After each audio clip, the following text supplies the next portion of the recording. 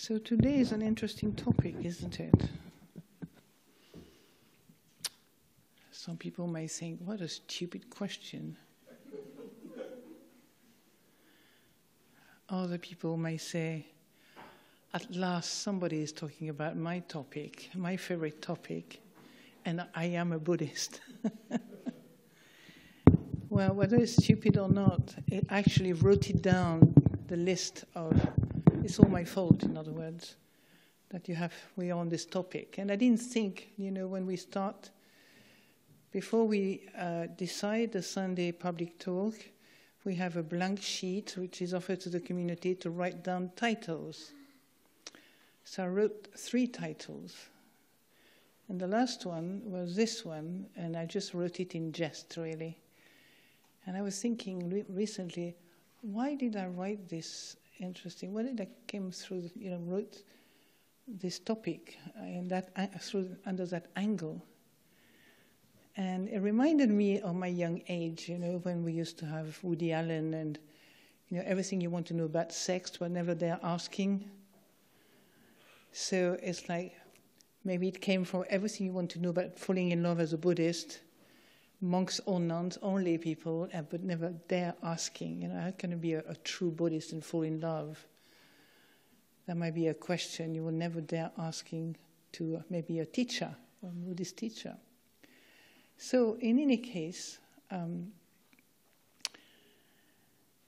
it uh, came through remembering a friend of mine who was a monk for a number of years and when we had a casual conversation with a group of friends, he said, you know, he was monk for quite a long time. He said, gosh, as a monk, I always fell in love.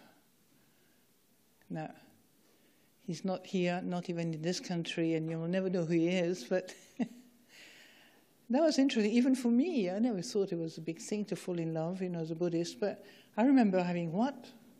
That must have been a struggle for this monk, you know. And so I thought that's an interesting topic to just kind of uh, uh, reflect upon. Okay, so um, I have to admit it's not a big problem for me in terms of falling in love with somebody, a person, but you can fall in love with many things, you know, with the country, with the sunshine of today, with uh, something that makes you happy, that you like that makes your emotional world very happy. So it's not just a person, but just this feeling, you know, falling in love. Oh, makes you so kind of so special. It's like a rebirth. It's like something new, isn't it? Something new. But then people forget very quickly, so they keep falling in love. and they think it's always new, of course.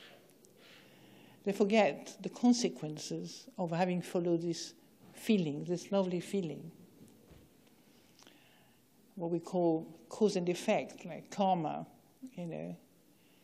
So, one of the uh, wisdom aspects of the Buddhist teaching is to develop and cultivate the what we call in Buddhism the citta in such a way that it is, it is transformed into an, a world that is very bright and awake and has the ability to use the six senses in the best possible way. Now, for a long, long time, we, most of us don't even know we have a mind. Have you noticed? Of course, nowadays, we speak so much about Buddhism, mindfulness, mindfulness stress reduction, and all these sort of things. So we are a bit more familiar with the term being awake, being mindful, being, um, you know, making the mind bright, happy, and so on. Knowing that the source of our world has a very clear beginning, which for a long time perhaps we imagined this beginning of our world was somewhere outside us, was caused by external conditions caused by people, by my mother, by my father, by my partner, and so on. For a long, long time, we are completely convinced that my world is out there somewhere, not far from me, but not here, not. And then when we actually begin to walk the path of practice or meditation, then what happened is that, oh, we discover a whole universe in there that sometimes we find incredibly pleasant when the mind is calm and peaceful and or joyful. And at other time we are shocked by the amount of pain and hurt and misery that has been accumulated for so long perhaps especially if we never really looked into our mind we might be a bit shocked surprised that this is all going on very often 90 percent of the time without really any conscious knowledge of that. You know, then we feel miserable, and people will say, well, what's going on in your mind? Have you ever known what you're thinking right now? What you're feeling? What your what are your emotions? You know, are you happy?" So, you know, in, there is a whole aspect of psychology, there's a huge amount of research about falling in love. You know, I had a little bit of my personal study on this, you know, and you can see how um, most of what people talk about, this topic of love and falling in love, has to do with the, the kind of um, describing the symptoms. Very rarely have I found somebody or teaching, or whether it's science, whether it's psychology, whether it's um, you know a, you know a topic which is not necessarily Buddhist. Wh- wherever I find it, it's very rarely it's actually talking about the real cause of this falling in love. And then what happened is the mind tends to judge. The mind naturally has a capacity, endless capacity to judge itself. So, if you're a Buddhist and you do something that is not Buddhist, what happens? You start beating yourself up, thinking you've lost the path. You should have been much better Buddhist. You should have been a good person, like the Buddha says. Do good, refrain from doing evil, and purify your heart. These are the teaching of the, all the Buddhas. So the mind has a capacity to be really uh, the compound delusion, to accumulate the troubles that we already have in place and have to deal with. So instead of judging, what can we do? Is have you ever have you ever asked yourself, can I move forward without judging myself? Can I transform my mind without judging and criticizing myself? Can I be myself without being a judge of myself? Right? So, when we, you bring this topic, like falling in love, um, you know, many people know that when you fall in love, whether it's with a Buddhist teaching or, or a person, or you fall in love with the idea of becoming a nun or a monk, you know, it so feels so wonderful. Oh, if only I was a monk or a nun, my life would be finally resolved. I would have no problem. Well, I invite you to come to Amaravati and to just experience it for yourself. See what happens. You always bring yourself with yourself. You don't get away from your mind so easily. Unfortunately, although we tried really hard to look somewhere else, we try very hard to distract ourselves. We try very hard to, um, you know, accuse other people to be our problems. So we have a huge amount of means to stay away from what is real and true. We have developed the skill of being deluded to its ultimate level. But we don't have to judge that. It's not a judgment. Immediately, you might think, oh, this is terrible. You know, Ajahn Sundara is saying the ultimate skills or means to be deluded. That's not what I'm saying. What I'm saying is that unbeknown to us, until we wake up, until we look inside, until we explore our mind, and until we have some realization, some insight into the way it works. It's very difficult to actually be at peace with it. You cannot find peace until you are you understand All the great sages have said the same thing. And perhaps that's what attracted me most to Buddhism is the fact that you, you did have to use your brain and you had to use your, uh, you know, cognitive faculty and your understanding capacity to come to understand what is a path of liberation. Because just word, the path of liberation, just concept, ideas, very abstract, isn't it? But the path itself is all about experiencing, seeing for oneself. It's all about uh, knowing for oneself. It's not about dogma. It's not about the idea that we have to conform to a particular image or conform to a particular teaching, even. It's not that. And I love the teaching of Luang Por Sumedho when he says, you know, we're not here to be saint. We are here to be, we're not here to be saint. We, we are here to see the way things are. Because when you see the way things are, then you see the Dhamma.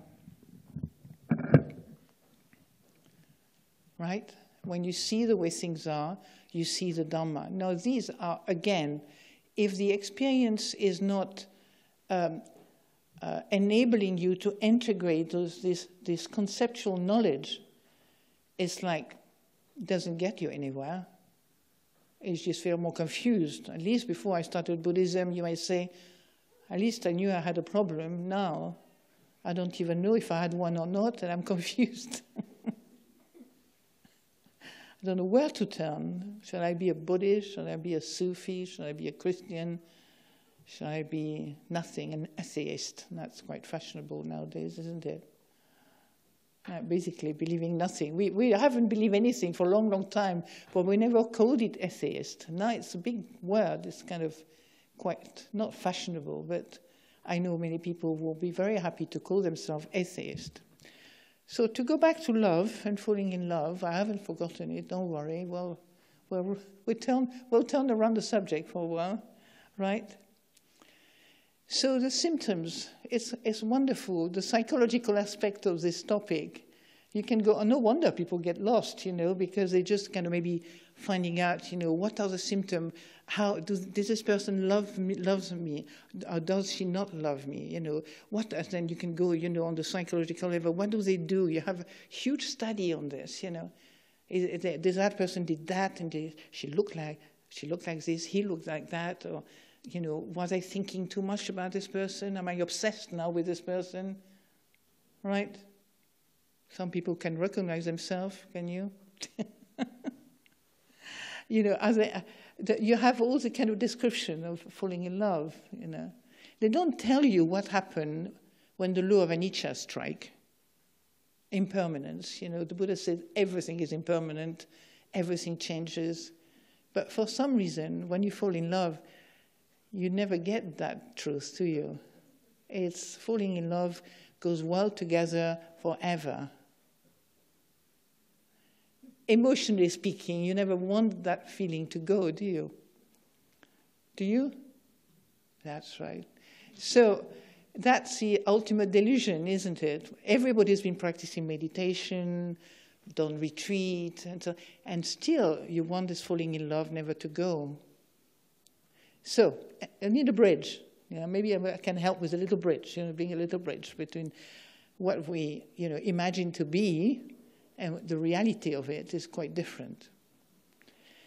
This is why it's worth talking about it, because it's a feeling that has brought dramas upon dramas, murders, uh, you know, people killing each other because they fall in love and the other one didn't fall in love, because one was happy to fall in love and the other one ran away to escape the person wanting to fall in love with them, you know, and then falling in love also has an end you know, all the things about all the good things. That my teacher used to say, yeah, when you fall in love, it's like even all the pimple and the, and, and the warts of your partner looks really sweet and pretty. You know, because you can't see. You can't see, you just see the beauty of it. You know, falling in love has to do also with seeing beauty. You don't fall in love with an old crumpled old ladies or a handicapped old man, or you know, you don't, that that feeling doesn't come naturally unless you're very advanced. what I mean, is a mature love then. It's not falling in love. It's a mature, it's a, what the Buddha talks about. It's like a love that is, um, is compassion. It's more like a love that describes compassion. And so, are you okay? It's all right, don't worry. It's fine. I, I'm okay, I'm okay. Thank you. The biggest muscles.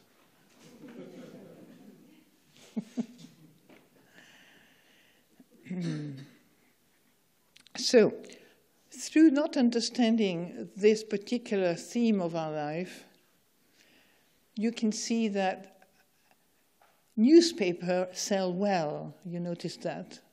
Newspapers are all about fell in love, fell out of love.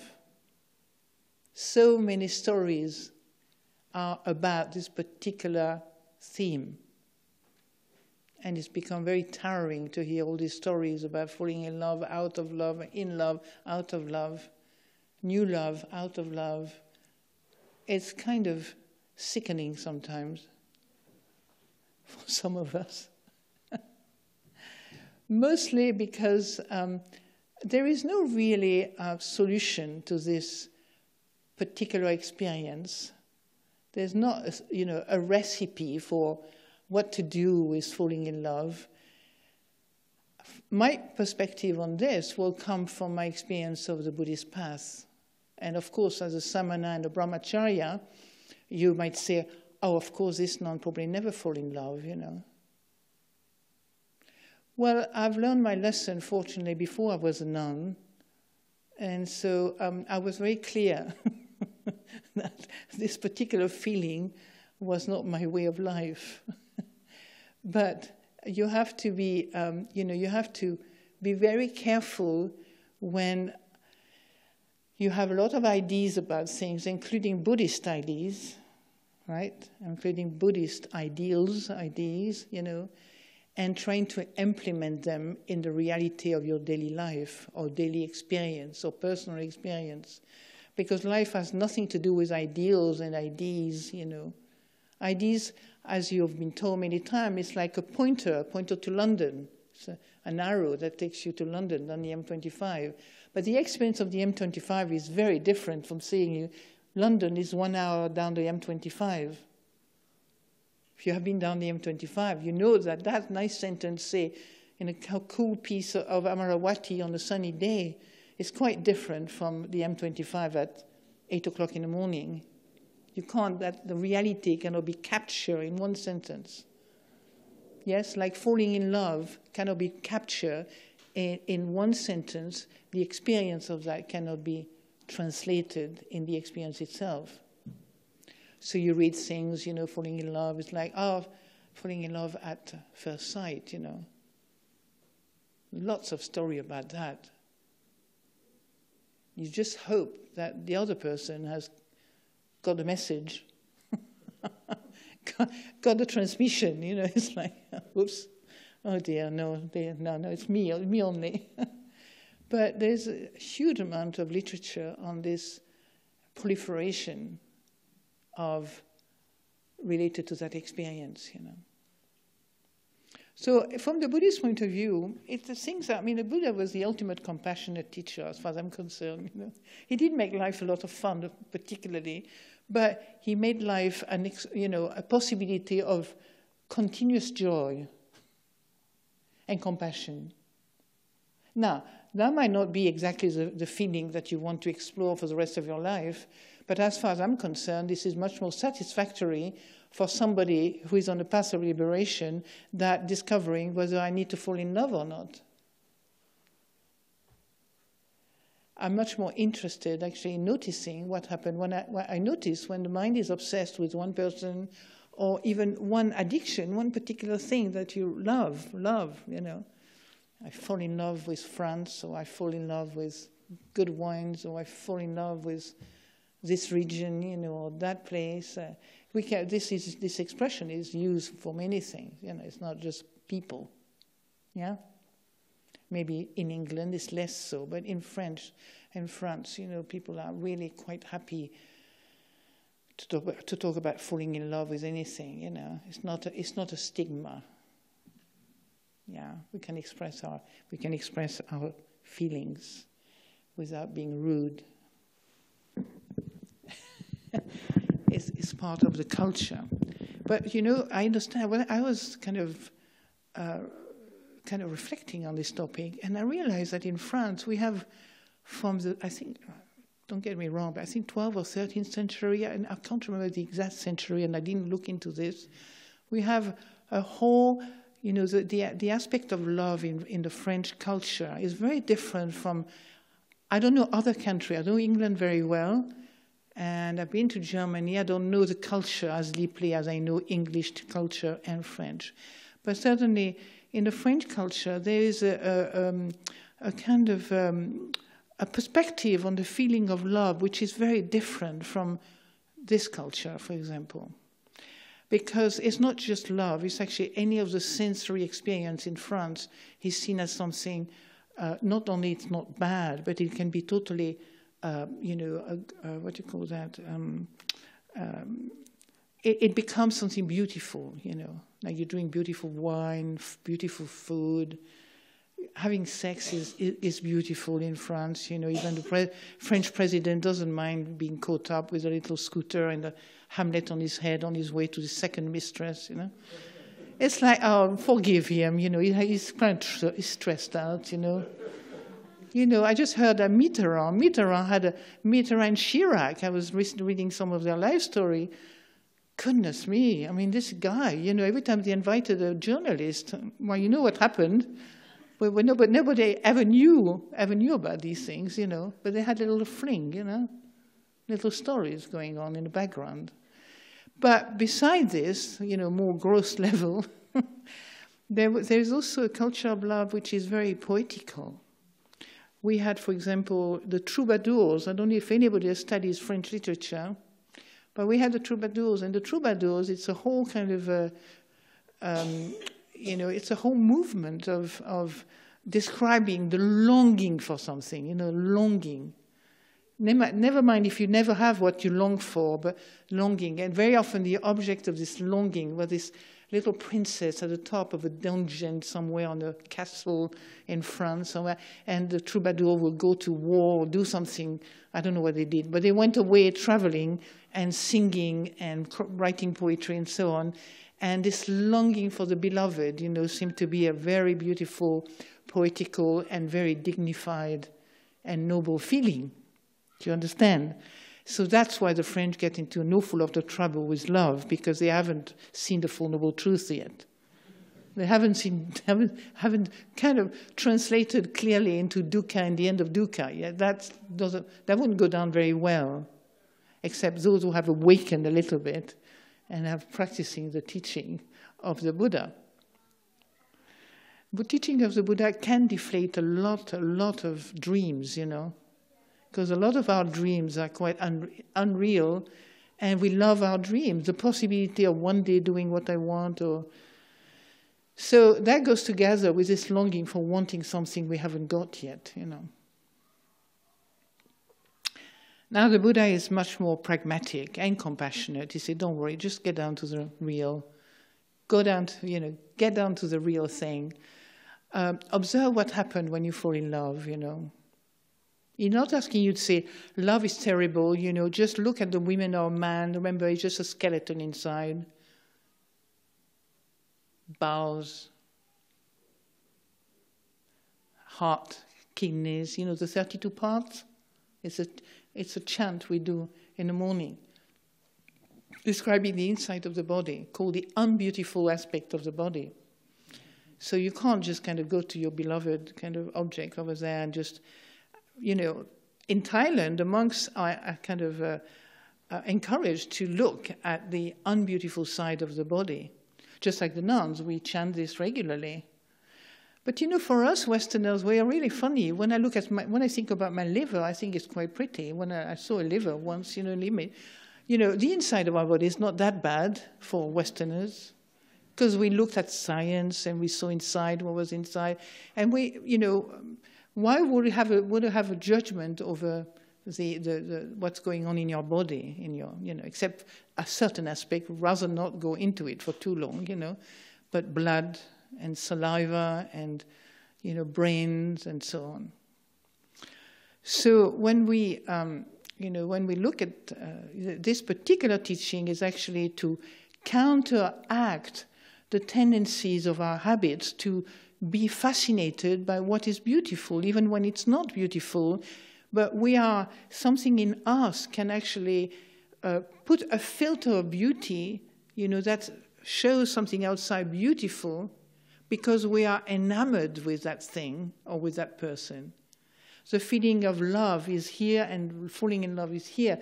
And we're looking for somebody basically on which this feeling can be dumped onto, you know, or rest onto, sorry, or catch somebody's attention.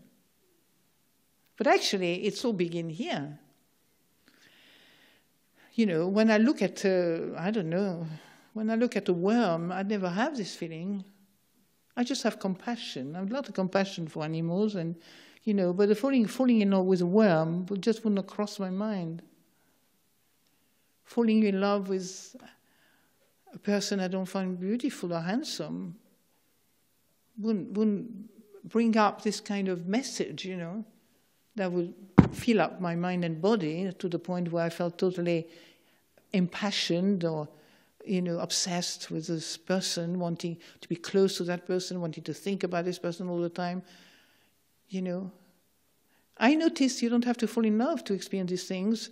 It's just like somebody is interesting for you and you don't, uh, you don't know how to let it go. And you can actually, your mind can be thinking about the same person all the time. You notice that? Is that, is that fun to do this? For me, it was clear, like 30 years ago. No way, I don't want to have my mind bogged down with the image of somebody when I know the clarity and the beauty and the joy of, an, of a peaceful mind.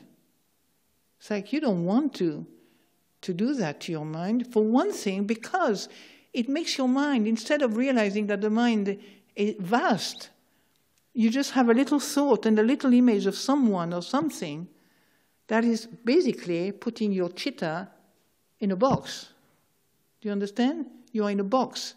Instead of having the open sky view, you have a little box there and you keep thinking and recreating and recreating. We do the same with most things. You know, if we are anger, angry, if we are, uh, you know, upset with somebody, you noticed. It's not just falling in love. If falling in anger, that also can happen, can't it? When we think of somebody and keep, you know, repeating the same old story, the same, he did this, he did that, he did this, and he did that, and da da da, go on and on all day in different form, different sentence, different adjective, different, different language sometimes. I used to have a dad who used to swear in German, so we never hear it. I don't know if he thought in German as well. He was French. He studied German before Second World War, don't worry. so, um, you know, what do we do with this feeling? Well, we just, it's so reassuring that what the teaching is requiring is a real interest in exploring experience rather than dreaming something that is completely disconnected with reality. It, that requires a real honesty, a real integrity, and more than that, you know, it, it, it requires a, a, a, real interest in seeing for oneself what everybody's talking about. Now, you don't have to go out from here and start falling in love just to make sure that you know what Ajahn Sundara was talking about. You know, it's not that. I'm not saying that. Right? but um, basically, to um, explore through meditation, through just awareness that comes whilst you you're practicing meditation, you are you have this extraordinary opportunity to actually look at yourself directly. Isn't it amazing? You can look at your thought directly. You can look at your feeling. You don't have to believe anybody. You can look at your body directly. You can, you know, when you are when you have this loving feeling, like you know, kind of sudden kind of hit there. You can actually explore that. You don't have to believe it straight away. Within five minutes, it might be gone. Now, if you were not practicing, because you don't know how to let go, you haven't trained your mind to let go, you don't know to letting go, and because of that, without you having any choice, you, you carry it around on your shoulders for days, for months, for years sometimes, you know, because you haven't trained your mind to learn how to let go. It's a big learning. It doesn't happen by itself, even though nowadays, in terms of immediate practice, when somebody teaches meditation, you know, you are being told, um, sit comfortably, uh, cross your leg, uh, pull your chin slightly back, make sure your back is upright, and remember, there's nowhere to go, nothing to become, just here, now. So that's, I can hear almost all of us came into the present moment, just as a feeling like suddenly everything went really quiet. Did you notice that? Amazing, isn't it? Just a group going quiet. It's like hit you something. But the actual work that we need to do to enable ourselves to come to that place of quietness and peace. Not just when the mind is quiet and peaceful, but quietness and peace when the mind is also turbulent. And the mind is not just your little brain here, the mind is all your experience in the here and now. In the experience could be feeling sad, feeling regretful, feeling what's next, feeling, oh dear, why did I come here today? Feeling, um, I forgot this, or I didn't do that, how awful this person is, or whatever. It's just your experience. So, the, the Buddhist teaching is helping you to develop a kind of microscope, you know, a, a, a, an, an instrument that can look in great details to what your life is about. So when, you know, from that vision, once you see clearly what's going on, then you realize that judging is not at all necessary. Not only that, but you can make it redundant. There's a different way to sort out things than just attacking oneself with a critical mind. There's another way. There are many other ways.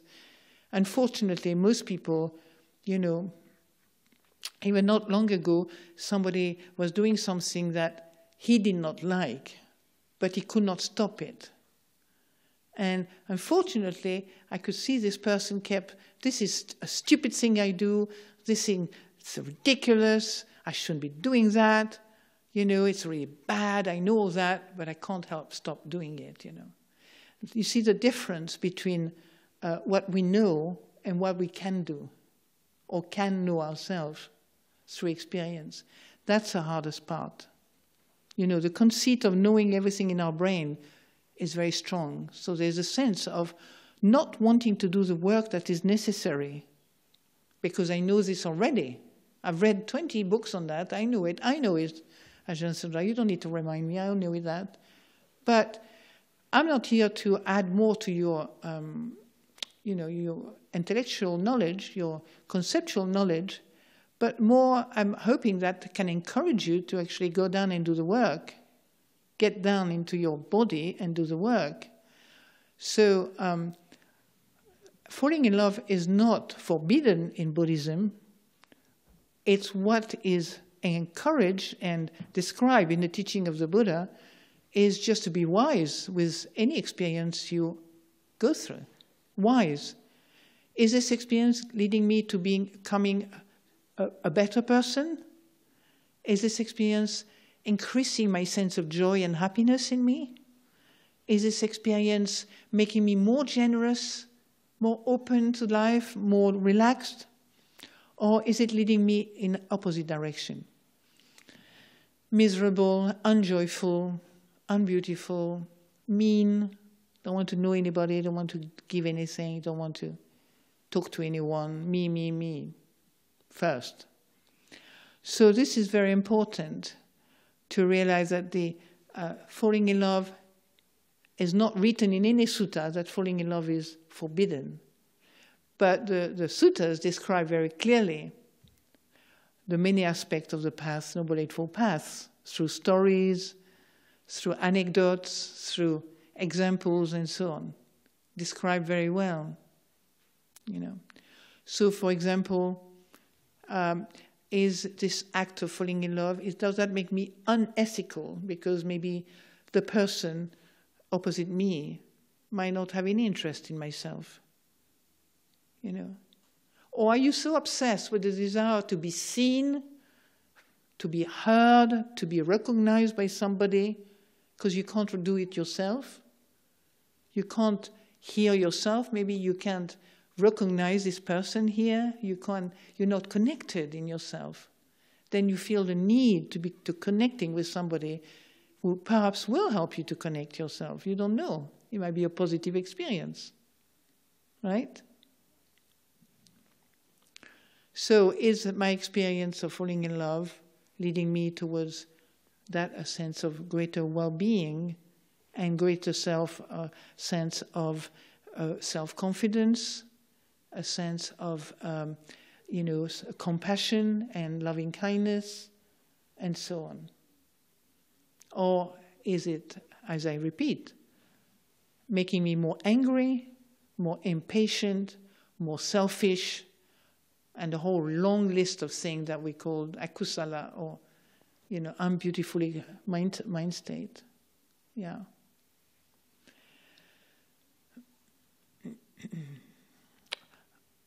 So much suffering comes out of being rejected from a loved one, being unaccepted by somebody who you feel you would love to be accepted by. You know, so much, so much pain is gen- generated by the fact that uh, falling in love might not be a reciprocal, one. Then, two, uh, experience of the two weeks you fall in love might not be as good as you thought after two or three weeks, you know, because it does has, uh, you know, a moment of, ah, wonderful, and then, oh dear, then, oh no, if I'd known. You know, it's unfortunate that things do change. I, personally, for me, it's very fortunate that things do change. You know, I'm really glad that we don't have to hang on to anything, because that's where freedom lies. You understand? Hanging on to anything is not freedom. Hanging on to anything is your chains and your prison. You know both at the same time. So um, when you know when you have this feeling of falling in love, when I was thinking at the first time, I thought it's just a feeling. I mean, as a Buddhist myself, having practiced for so long with Vedana, you know, the feeling, the emotion, the sensation in the body, all that covers the range of. It's not exactly Vedana means many things in a way. It's a physical feeling, mental feelings and so on, sensation in the body, and all include all that. Yeah. So I can begin to read my mind and my body to inform me about the reality of my life now. It's perhaps not romantic, you know, not very romantic to not be able to kind of project and dream and imagine all kind of things that could happen one day. You know, it's not as romantic as that. It's just telling you it's all impermanent. It's not yours. Don't hang on to it because it's going to go any minute unless you cling to it and stress yourself for hours and days and weeks and years to hold on to something, right? And it's um, yeah, it's not self, it's impermanent, and it's painful, isn't it? Look at the freedom of your mind for those of you who've done the uh, retreats here. Do you remember the last day before you go back to the great, uh, the great real world, you know? If you remember, you come out of retreat, you look that radiant and absolutely wonderfully free from all troubles. You're walking on a little cloud of peace and self compassion and love. And does that last? Have you noticed? Does that last a long time? Yeah? Yeah? Not much, eh? It lasts about a few hours, you know. I mean, I can ask Yanni Garika, go back to the nuns area, you know. It's, oh dear. Actually, actually, we do talk a lot on retreats. So it doesn't change that much from one thing to another. when we have the meal with the teacher, you know, we do have discussion, Dharma discussion, of course, together. So, um, going back, judging oneself, because that's a big thing. Go through these particular challenges, challenges of, of your life. Go with a good heart. What does that mean? Don't start being this awful type of Buddhist that are placarding all these labels before on reality before you even started, you know? Can't do this is anicca. A lot, of people get mistaken by that. They think Buddhism before experiencing the teaching. Right? They think about it. They don't go and say, they don't really, what is missing is the being reminded to be relaxed and oneself. To be relaxed. We can't often be like that because we're not surrounded by very safe situation. Often we're frightened that people are going to criticize us. We're frightened by the cultural kind of society's kind of expectations. We are, you know, there's so many things that prevent us from being relaxed with ourselves, at ease, loving towards ourselves, caring towards ourselves. So little chance, except when you come to Amaravati, people say they can feel very relaxed here. Because nobody's going to be down, you know, hitting them on the head because they didn't look in the right directions or they ate too much cakes or whatever. Can eat all the cakes you want here, nobody will bat an eyelid unless your neighbors behind you realize the last one is gone and it's not going to get there. Just a human, you know, human interaction. So, um, what is important is um, not so much falling in love. Falling in love is just a natural, you know, you're hungry, you fall in love because you, you have a need, you know. I mean, the, the falling in love comes from oneself is not a feeling that may, you don't need another person to fall in love, you know, it's just, we'll find something to, you know, it's something that we need attention, we need to be recognized, we need, maybe we are unhappy, we need a, somebody who is empathetic towards us, uh, maybe we lost a, a, a, partner or a parents, we feel very uh, full of grief and so on, and there's nothing that will attract a partner as well than you see a man or woman full of grief and unhappy. If you really want to have a quick partner, just look for the women who look miserable. She might reject you still, but you have more chance, you know. Somebody who is really unhappy. You have all your chance, you know. I think. I'm not sure, but I think. it's the same the other way around, you know. so, but as you say, some people say, no, no, no. yeah, sometimes being happy, you can also fall in love with happy people.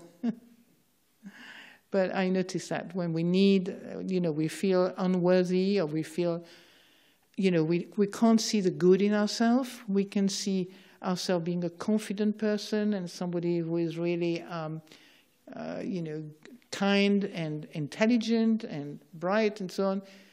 It's easy to want to, you know, have somebody telling us that.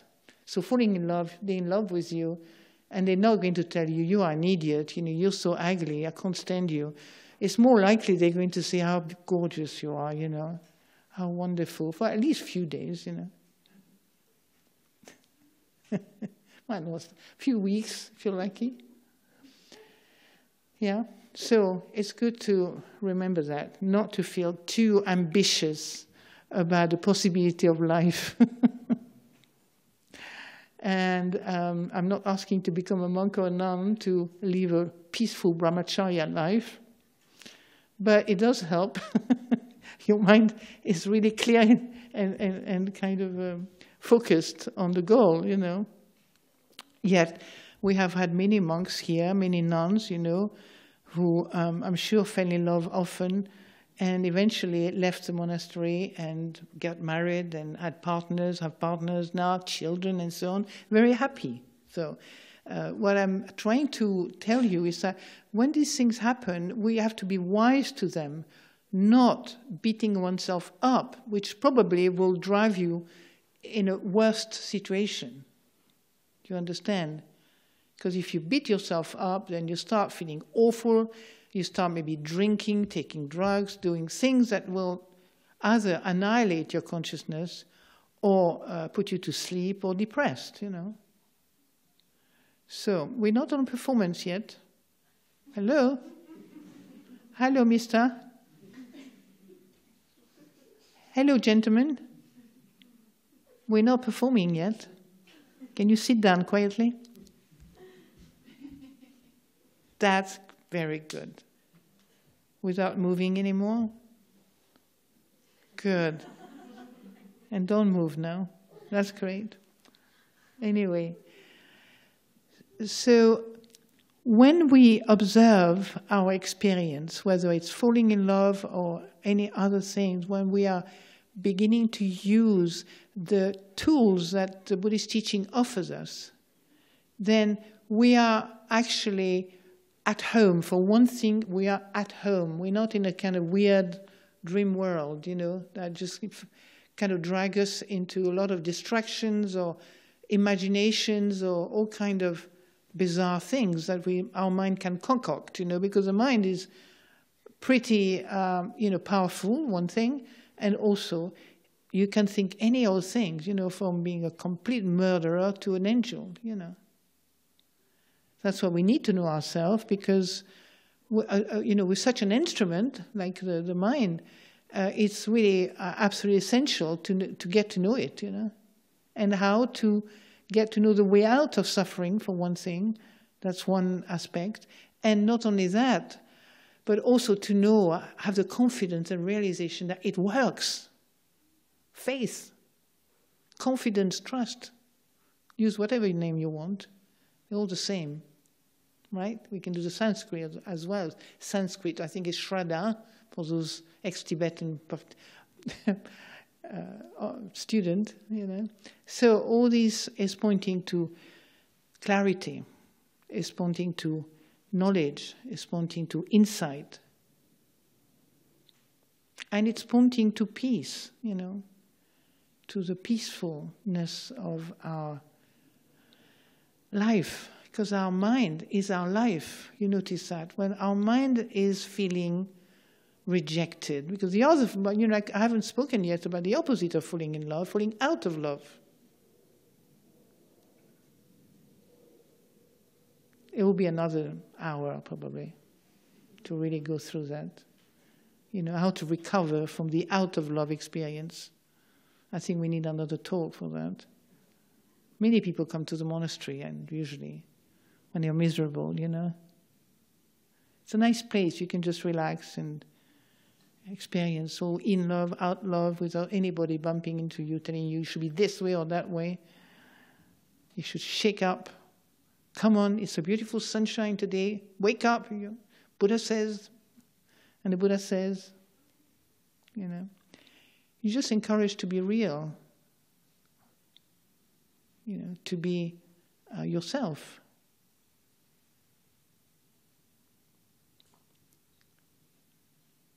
Not a big thing, isn't it? Not have to impress anybody.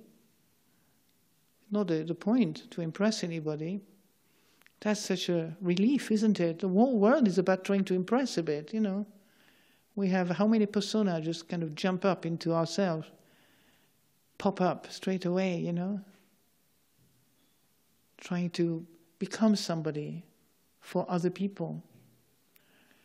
Trying to represent oneself in a way that we know doesn't exist anyway. Because at some level, the more you practice, the more you discover there's nobody around anyway. Now, be careful with this one. Don't tell your partner, hi, darling, you know, she's angry and really annoyed. There's nobody around, the Buddha says, you know, you don't exist. I said, find out how that works. So you are, this is a truth, there's nobody there for very long, two seconds. But you have to, it's not other people you have to teach, it's yourself. So when somebody is angry with you and you find, you feel the sense of, you know, I must tell this person that the Buddha said it's all impermanent and satisfactory and not me. When you start feeling that desire to kind of rearrange the, you know, the, the what you call the, the chair on the, what is the, the boat, see? Anyway, you know the boat I'm talking about, don't you? rearranging the dock chairs, the deck chairs, yeah. Uh, what is important is as soon as you feel that tendency, that, that pressure in you to want to teach somebody the good Buddhist teaching you know, don't do that. Pull back and teach yourself. What do you need to learn now yourself? Maybe you need to totally accept the anger of this person. That would be Buddhist, very Buddhist, you know. Like you'll be a good Buddhist by being at peace and patient with a person who is having a huge argument with you. You listen carefully, you know, unless they are dangerous, of course you have to defend yourself. But if they're not, you are, as a person in front of somebody who is angry, for example, you actually develop a sense of mindfulness, compassion, kindness, and patience. So, what do we do usually? Hmm? You see, even in a family, if you've learned something, you want to teach everybody else, don't you? So today, you had some kind of tips about this falling in love aspect of life, and then you go home and you see your teenagers falling in love with this partner, and you start telling him, you shouldn't do that, you shouldn't do that, because, you know, I've been told in Buddhism, you know, you have to do this, you have to do that. But the poor teenagers, he doesn't care, she doesn't care, she, she's not there, do you understand? You have to be with people where they are. So if you fall in love with a partner, you've done that 20 years, you know, let that partner, that, that poor teenagers, leave, leave that person alone to experience life as it is. If I had, had been a nun, I think I would have opened an institute for dejected teenagers. Because I was an, a very difficult teenager. Teenager's time was a terrible time for me, difficult. I had a good parents. I mean, it's not that I was in the street. No, no, I was not taking drugs. I was not doing any of that. But it's psychologically and emotionally, it's a big kind of change and transformation in oneself. And I can see a lot of teenagers are not really difficult for parents to understand people who are so close to them. Isn't it? My parents were wonderful with all my teenagers' friends. They loved my parents because they used to say, Yeah, go on a revolution, it's good. Yeah, do, follow your heart, follow your bliss. And I follow my heart, follow my bliss. Can I do that? No, no, no, no. You've got to be a, you know, basically a good girl. So I'm just telling you this story to, uh, you know, basically it's connected with this sense of imagining a lot of things and actually being pointed toward experience, towards being real. I've said that before, right? Not looking for something outside to explain all the misery that you have, even if it is true. I mean, a lot of time it can be true. Of course, it is true. If you have obnoxious people around you, it's quite normal that you feel miserable. But to be able to solve the situation, there are many means. You can find the right way to deal with the people outside you. You can find, but also for you to deflect that energy of reactivity towards an unsatisfactory situation is the way to the deepest liberation of habits. Do you understand? Because the world will catch on your habits as long as you react to them. You know, you will be hooked onto reactions as long as inside yourself, you have this reaction alive and well. And that goes to finish now.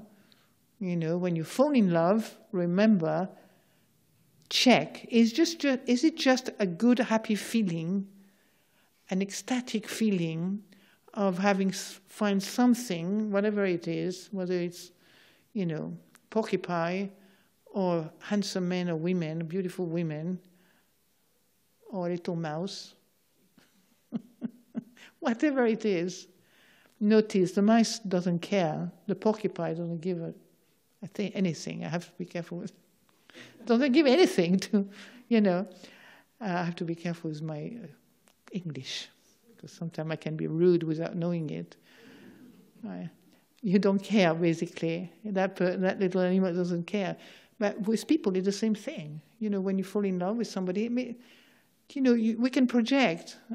being a woman, I know women much better than men. I don't know about men so much, but women are really good at, you know, we're quite good at projecting a lot of things because we are emotionally quite, we can be easily, um, how can I say, our emotion can be really turned into misery you know? And so we can be we can come across as being needy when we're not needy particularly. We just express emotions and what happens is somebody wants to fix you or to make you happy. Do you understand? I'm not saying who because i don't want to get into trouble with the sex issues men and female but you know what i mean? Suddenly you just have to look a bit like oh i can't do it. And then suddenly somebody come to your rescue a kind women or a kind man you don't know, you know, they're going to help you out. So if you want to be left alone, be careful how what you project into the, into the air, into the space. Yeah?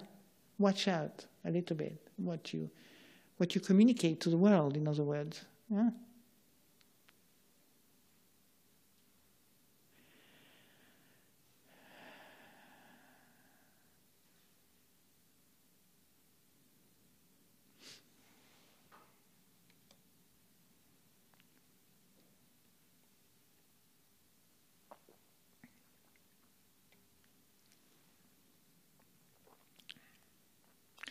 So, yes, you can fall in love, and you are the person perhaps that need even more to follow a spiritual path.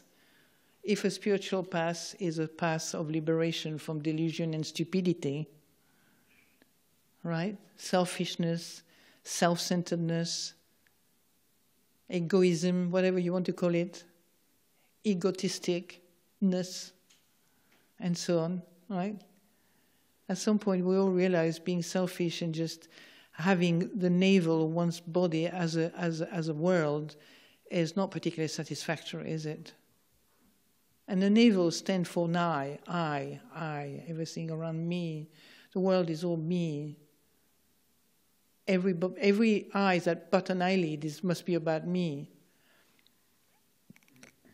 I still remember the time when I was in Anagarika. We all have this experience it's quite sweet just to see the, the mind really clearly. The, you know, I had, I had eaten a, bit, a, a, a, square of chocolate, which hadn't been offered to me specially when I was just at the beginning of my training, in the kitchen at Chithurst.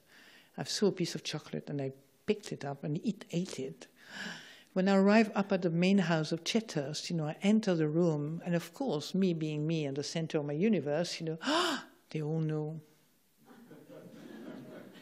they all know I have taken a piece of chocolate, you know. That's how it functioned. That's I function like that. Until I realized, it took me a few months to realize people don't care about you. They don't care. They don't give a damn about what they've done. They're so busy saying the same thing about themselves and others. Oh my God, they must know I've done this terrible thing, you know. You know, we're so busy with ourselves, nobody really notices you. Be reassured, you know. So, continue your path, okay? Fall in love as long as you want, but don't lose your path, so, and that might shorten your dukkha of falling in love quickly, because how many times you want to make yourself suffer needlessly, unless you're a masochist, right? And um, learn from that experience. That's the beauty of it. We can learn from that experience. Because, you know, you can use falling in love also in a more poetical way. It's like something that opens your mind. It's like you open something new. But that you haven't seen that it was so dependent with something that didn't even exist that it just collapses really quickly. And then you feel this kind of completely um, desperate, you know, oh, I've lost my moment, you know, beautiful moment. Okay, now let's sit for two seconds, 10 seconds. This kind of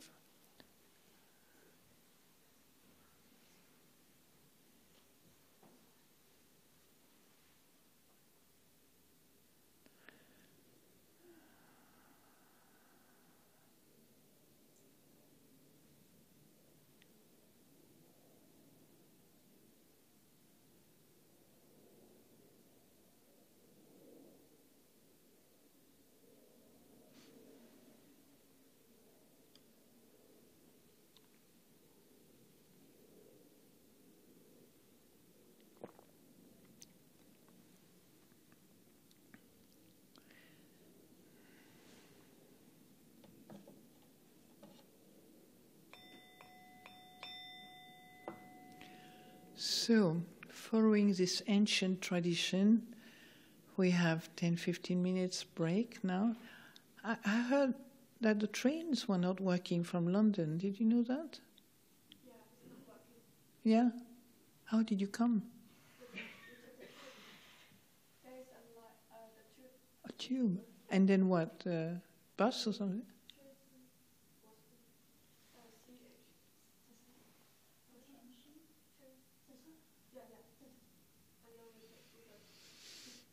Okay. So, tea is ready.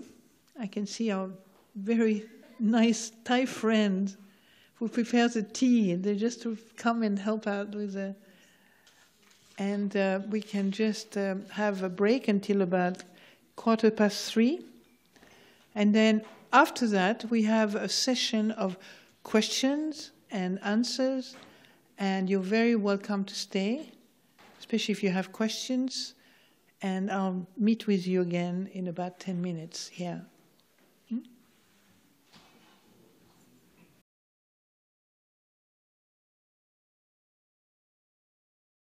Um, this is a time for question, and um, if you please do not hesitate to ask the question you want.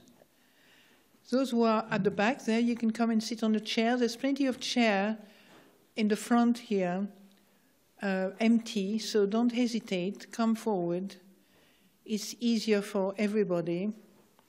And who is going to pass the uh, microphone? As we... Okay, that's great. Yeah, come in the front row there. So many places empty. Yeah, it's not.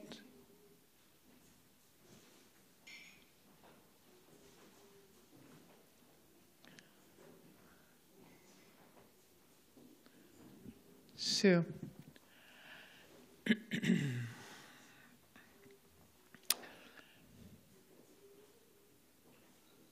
There's some places here at the front, and a second, third row, fourth row.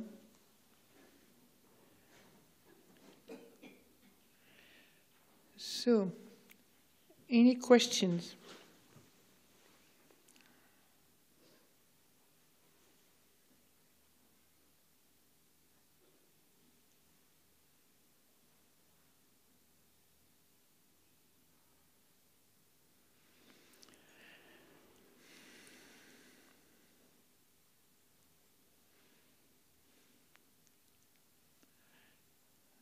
It's interesting. When you're in America, it's like.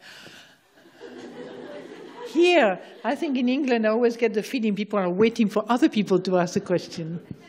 They love to ask, but maybe they're too, too shy to ask. Well, if you don't have any question, we can just close shop then. Okay, I have one. oh, uh, I think she can hear me. Yeah, what question? Um, how to make uh, our parents happy? Oh, it's, it's fine. Thank you. I mean, how to make our parents happy because they have expecting on the uh, sons and kids, and but we also have our life. So when they want us for follow them, but I don't want to follow, but they are not happy. So how how to make them happy, and at the same time I have my life. That's not an easy question, you know. Um, This I lady is from China. You Chinese? yes, I am. That's right. And so in Asia, you know, China or Thailand, you know. But China, I know a few students from China who've been here, and uh, we all know. I shouldn't say that maybe on a, on a on a video, but no, I'm not going to say it then. I'll be maybe misunderstood. You see, I was going to talk about. No, I shouldn't say. really tempted. You see, I had to kind of pull back. So um, it's a question that really has no answer. I've seen people in your situation a number of times, you know. How to make people happy and do what I want. That's really what your question is about, you know. I to, how to make my mom and my, my, my mother and my father, father happy in the expectation they have towards me, for me, and how can at the same time do what I like to do with my life. Isn't it? Yeah. Yeah. So it's not that easy. What they want for you is very different from what you want for yourself. Are you sure? I know. You're just frightened. They might be, might not be the same, eh? Yeah. They might want you to be back in China and work really hard. Uh, yes, they want to take me close, but I don't want. They want to give you a job. No, they, they want me uh, close to them, but I don't Yeah, that's to right. It's a big thing in this kind of global village, isn't it? It's a big problem. Because um, many people don't live at home anymore, or even the same country, not to mention the same continent. You know, with this kind of thing, I think it's important to, um, th- you know, there's nothing. Do you want some tissues?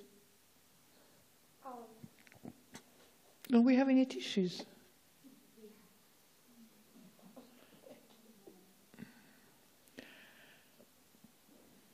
Thank you, Yun Kyung. Yeah.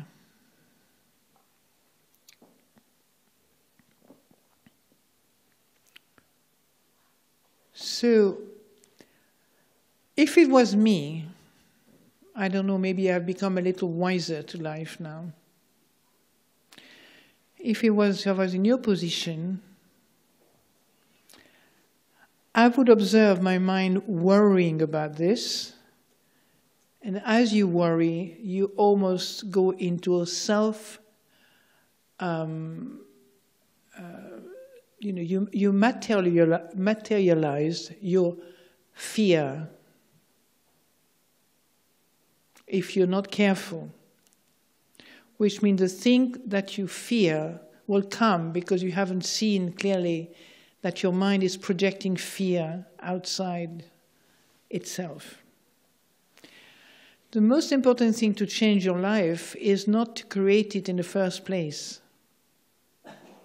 And we create our world through being frightened of it, anticipating it in a way that we would hope it happens, and then fearing that it might not happen.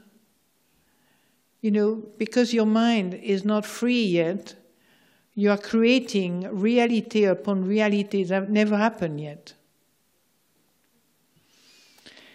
So I do believe in the way of kindness. You know, like your mom, you can, your parents, you can, they can, you can give them a sense that you hear what they are saying, but you don't have to stay straight away. But and I agree with you. You don't have to say that.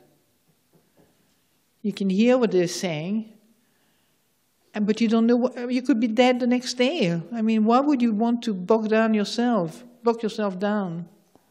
You know, trying to find out what you're going to do in your future instead of taking care of the present moment, which will be your future eventually. Make sense? So you take uh, you take example to you know on your friends who come into retreat now. Learn how to meditate. You know, learn really the skill of meditation, so you can see what your mind creates. If you don't see what your mind creates, it will create itself anyway. But you just will create maybe the thing you don't want to have in your life. You know. You know, you can, you, it's easy to go in a self-fulfilling prophecy. You know by thinking about it all the time. Don't expect your parents not to be upset if you do something they don't want. They're not saints, are they? They're not saints. But what you can do is just live one moment to the next with a peaceful and happy heart. And then that will create the future for a peaceful and happy situation, you know, if you are, you know, mindful and awake. Because at some point you might find yourself close to your family and not mind at all. If you've been wise to your mind. Do you understand?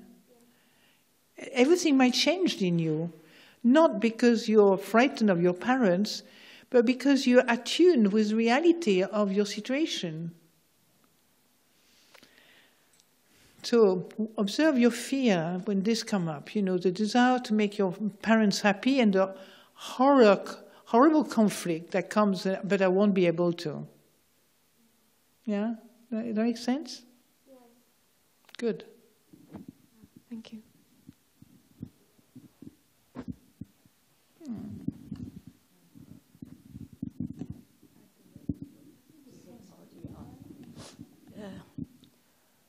I like to know when we died. Go, go, bring it a little closer. When we died, our body is disposed of. So what happened to the mind? Oh, the mind. Oh. That's a big question. It is. It is. I don't know. you would expect me to know, wouldn't you?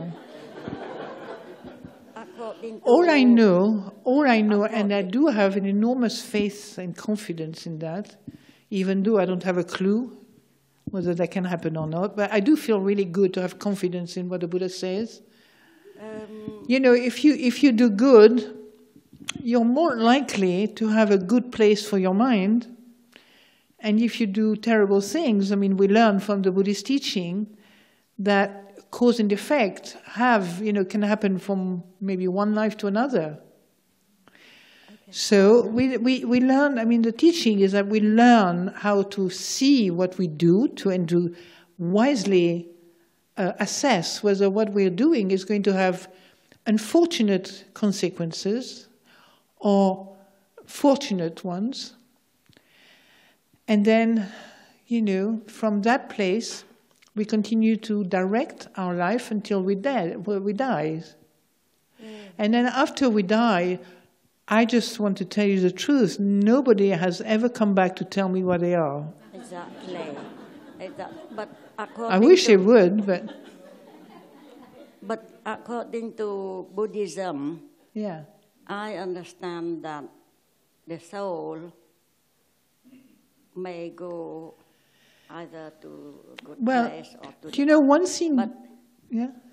But some people just die suddenly. Yes. Without warning, without anything. Yeah. You cross the road, you were killed, like Grenfell, Grenfell Tower, for example. Yeah, they yeah. were not expected to die, did they? So what happened to those souls?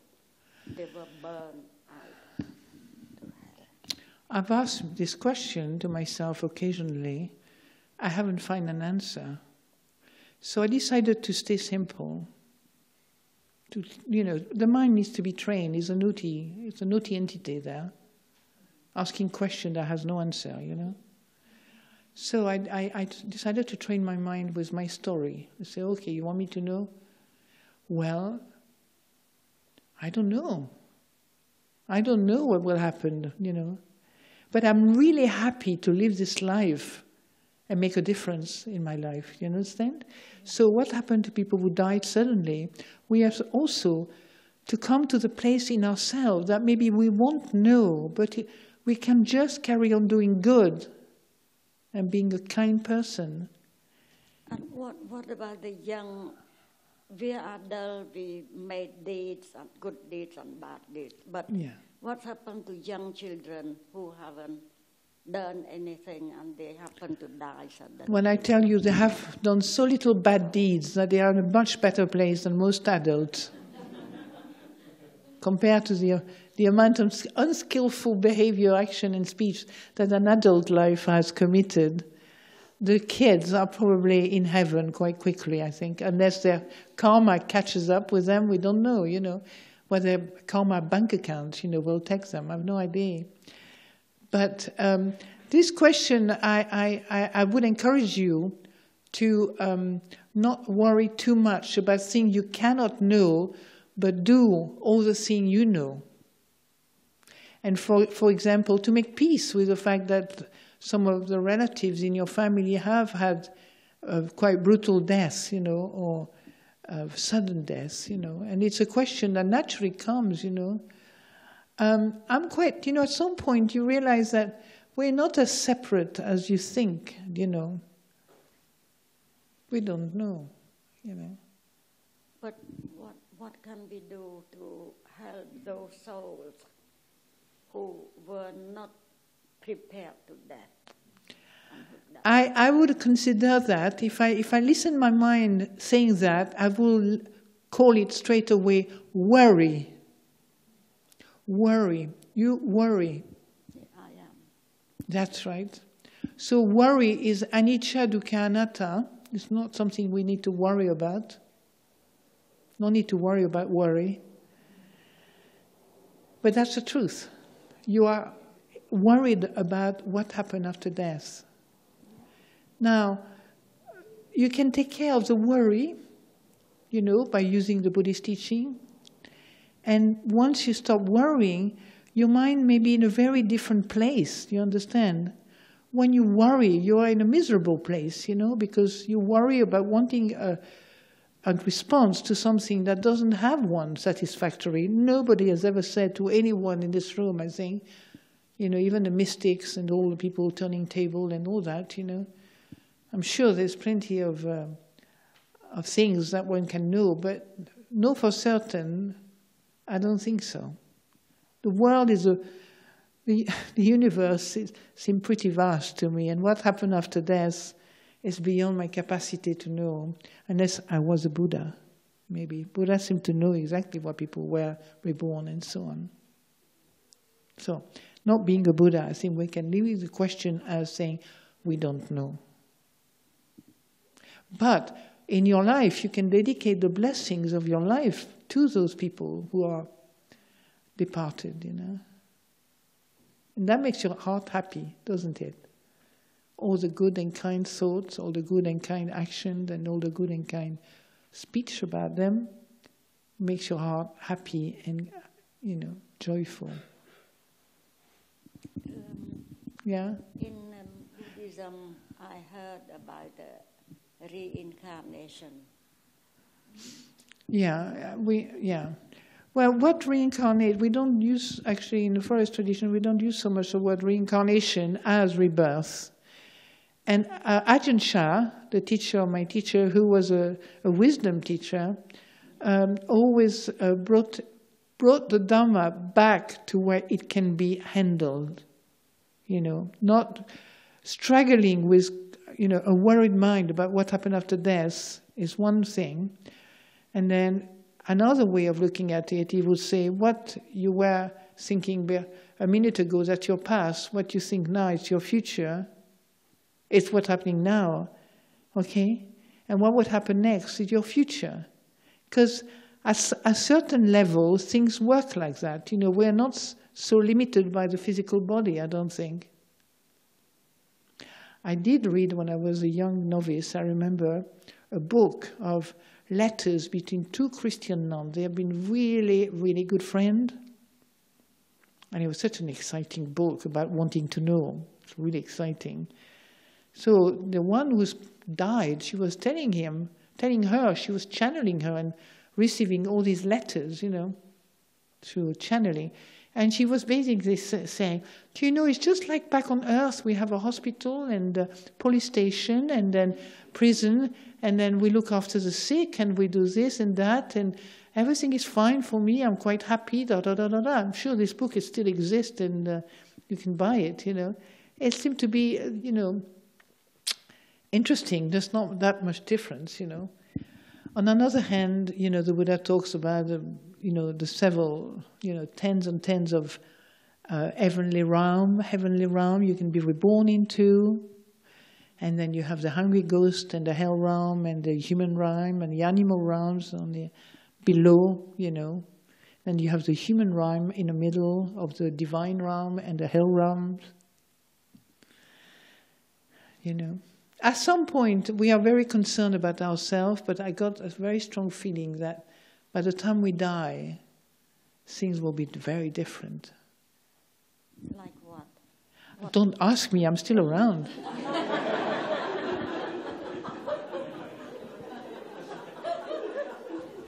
I'm still around, you know. I think, I tell you what, I think we can pause on that question now, okay?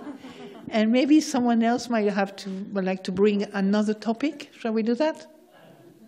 Okay, thank you. Thank you. Thank you. Can you pass to, yeah. Uh, I just want to ask if you feel depressed, how you deal with your depressing mind. Say that again. If you have depressing feeling, depressed mind, how you dealing with that?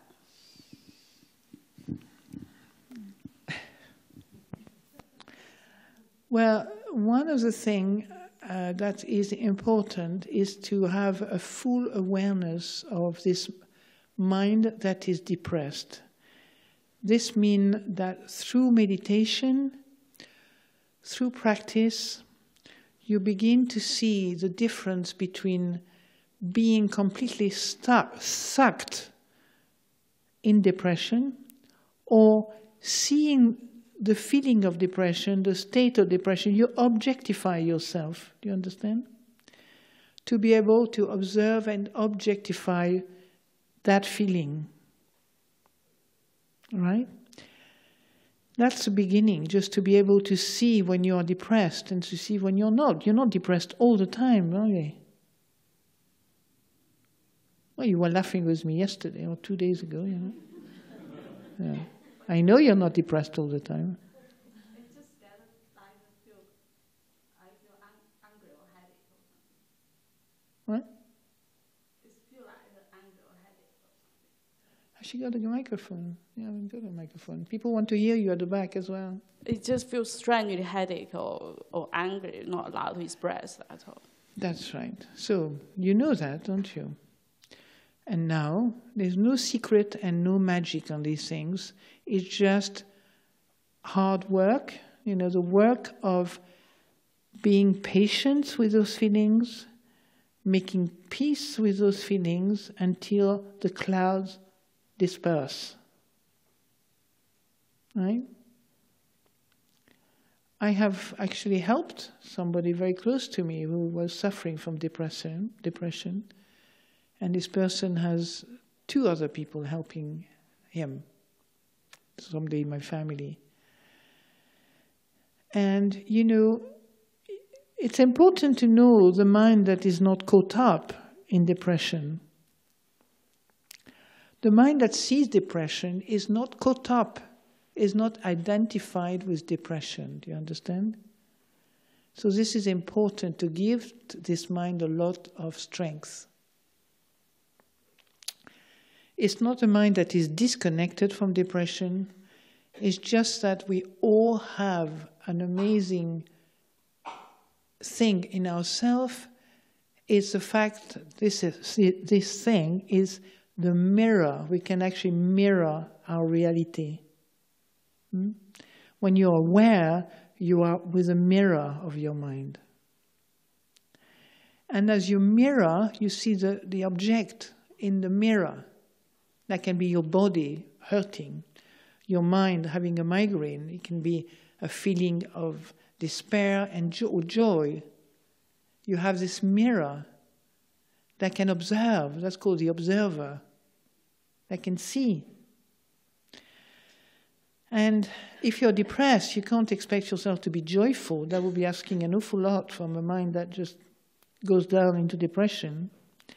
But what you can do is learn through your meditation practice to see clearly anicca, impermanence.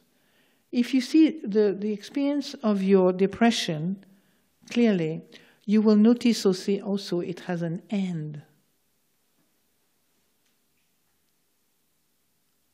When you see it coming back, you can recognize it's back again. And then, if you can't do this, it will be very important to notice what it feels like, examine it, explore it, know it well. And then it ends at some point again. Sometime when we don't have any objectives, sometime when we don't have any kind of clear intention in our mind to do something or to, we can easily get fuzzy and lost and go down into depression because the mind has nothing to hang on to, you know. So it's good that when you have the sense of the feeling of depression, to develop energy. And energy and depression are opposite, you know. When you're depressed, you go down, you don't feel interested anymore, you're upset, you can't see any point in living, and all kind of things, you know. Not just killing oneself just a day. You know, it's like there's nothing to the day really interesting, whatever it is. So, as a depressed person, it's actually quite good to get help. The person I helped had also help support, you know, going to a clinic, whether it's people have trouble, not necessarily depression, but other things, you know, just a support system. Where you can be out of your normal kind of conditioning and habits and places. I mean, in your situation, particularly, you can come out of this. Yeah? Your, you notice depression is also, as everything else in our experience, changing, not me, not mine, and painful. So, okay? Patience, big patience. And good friend. Yeah, we do we get the microphone? So.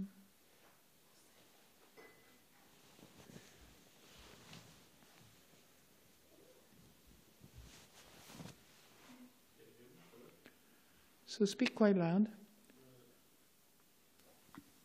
Hello. Um, when love turns into hate, and uh, when you have more bitter feelings for a person, um, what I'm trying to say is that uh, you listen to Dhamma talks, you try to practice meditation, you try to watch your thoughts and everything. Sometimes those watching the thoughts can turn into strong thinking. And uh, can, be, can When you're watching the thoughts, yeah, can turn into a strong thinking if you're not very skillful enough. Uh-huh. So when the strong thinking comes and when the emotion of hate uh, gets attached to it, you know, your mind works very strongly, and uh, you don't even imagine uh, these kind of thoughts are going through your mind. So my question is that uh, what happens when you're trying to observe your thoughts and when you go into deep thinking, you know, how to uh, demarcate that line and uh, have much more control over your practice, if I'm making sense? Yeah, it makes total sense. You know, if you sit down in meditation, you say, I'm just going to observe my thought for an hour, and that's it. Don't get engaged with your thought. It's a big difference between observing your thoughts and engaging with your thinking. So you have to know the difference. Yeah, that's uh, I'm struggling a bit because I'm a bit of Well- a beginner. Yeah. Well, well, you're struggling, but that's work. You know, that's what you have to do. You you don't have to struggle. You say because you you you know in a way we have a hard time you know spending too much time losing control of our thoughts. Do you understand? We want we don't want just to see like, and she or car garage. Nice day. Got that. At some point, we say, "Well, what is the meaning of life?" You know, you know, you don't want to go into one thought and then space and another thought, space, and leads nowhere. It doesn't feel like it's going anywhere. It's not going anywhere. That's why we remind people it's not going anywhere.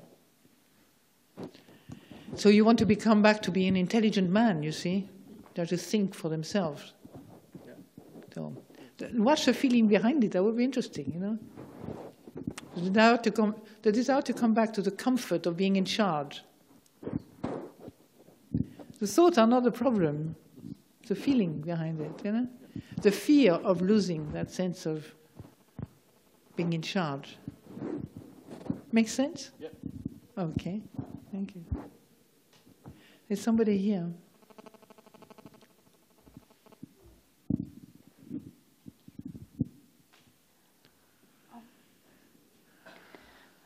Um, when you're in a point where you uh, want to make a decision to change, make a relevant change in your life, um, how do you make sure that that desire to make that change comes from a balanced place and it's not influenced by, you know, fear or notions about how you should live your life, or how do you make sure that you verify um, that thought before, you know, putting it into action? Do you want how to verify where this desire for change come from? Yeah, and, and if it's really what do you want to do, and if it's exactly what you should be doing, if if that's a notion of you know what you should be doing, if that's well, really you know, do you know any about how much can we know the future?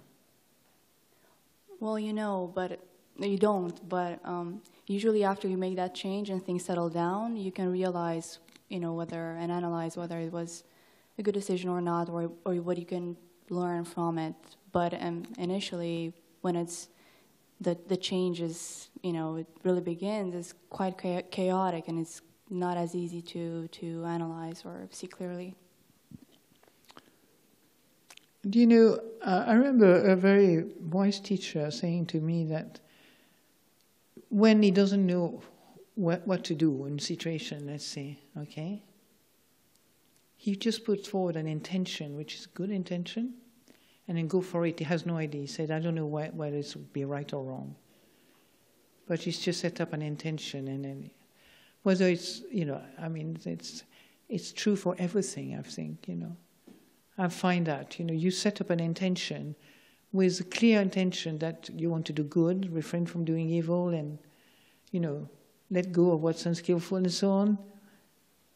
Uh, you find that at every turning of life, you know, even just being with people, you know, shall I meet them, not meet them, or, you know, shall I invite them to do this? How can I know them better? Or, you know, like the Anagarika, or, uh, you know, shall I have a meeting with them or not meeting, or shall I have a meeting? I mean, it's all kind of thing, you, know, you can. So for you, it's important that you um, make your intention clear, and the future is unknown. it's true. Do you know what I mean? The future is unknown. It's not like a nice Zen thing, you know. It's the past is a memory, as Ajahn Sumedho's teaching goes. Now is a knowing. Now you know that you are worried about the future, maybe what to do, and the future is unknown. Which means you have to be really count on each moment to make the next step. Do you understand? You have to be much more mindful of each moment to be able to inform the next moment and the next moment and so on. We want to kind of just jump for 10 years now, tell me that it will work forever, you know, 10 years. But as Ajahn Chah often said, just be like an earthworm, you know, just keep going. Slowly but surely. Any more questions?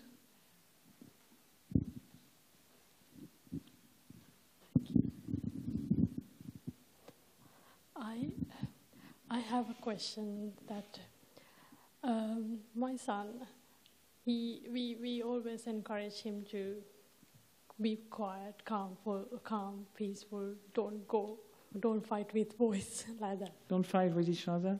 Yes. Yeah. So when he started his nursery, he got beaten. when they fight, there's confusion.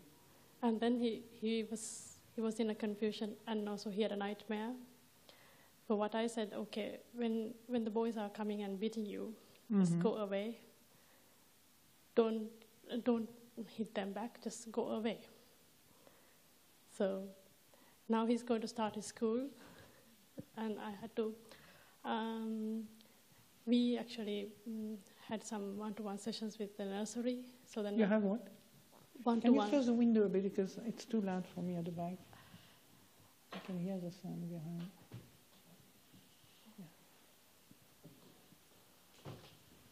So we talked with the nursery and yeah. with the nursery, and we worked together. Yeah. So uh, with the help of them, we actually uh, came to a settled situation, and mm-hmm. then he finally he got on, got on with his friends, and he was he mm-hmm. was okay. Mm-hmm. Now he's starting his schools in September. Now I'm in the same uh, situation with that question. Okay, what will happen now? So what should I, um, uh, what will be the direction or what will be the answer for a little mind? What should I say to him to make him not confused and uh, not upset? You know, I didn't hear everything you said, but anyway, it's fine. If you can resume it in one sentence, that would be helpful for me. So my son, he's so little at the moment, when he got beaten up by someone else, by a child or children, how should I make up his mind? Uh, because I always encourage him to go away, not to beat them back or just go away, don't get into the. so now he's starting his schools. So now I have a question how to, how to make him aware or how to um, mm. make him ready well, it's not easy, is it? Oh. You know, we're talking about you, don't you? Well, you know, it, it's, it, it's not an, a question I can answer right away, you know. I mean, in a way, children, all I can see, I mean, if, if I'm really, if I was a mother now, I always tend to think love is the only way, you know. Yeah? You don't know what happened in his life, you know. Uh, why is he so? You know, I used to be a very agitated child myself, you know, so I have natural compassion for the difficult kids. Because I used to be very boisterous, you know, very kind of energetic and so on. So sometimes just helping to calm them down, you know, you don't know the energy, what's going on, you know, what makes them so restless and so on. But it responds quite well. I think um, as you've always been like that? Have you always been like that? Yeah? Hello? I think it's probably best if we talked at another time. Another time. Thanks. Thank you. Yeah? That's right. So, shall we, we can, we can talk about it another time. Any other questions? No, I tell you what. Hey, wait, wait a minute. Ask him to bring the, the microphone to the person himself.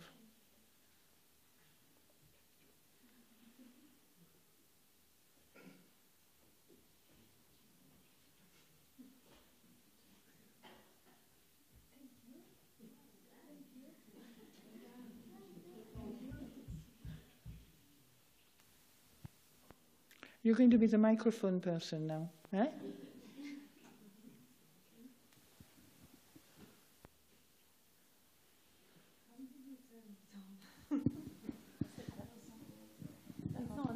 On? Yes. Yeah. Um, thank you.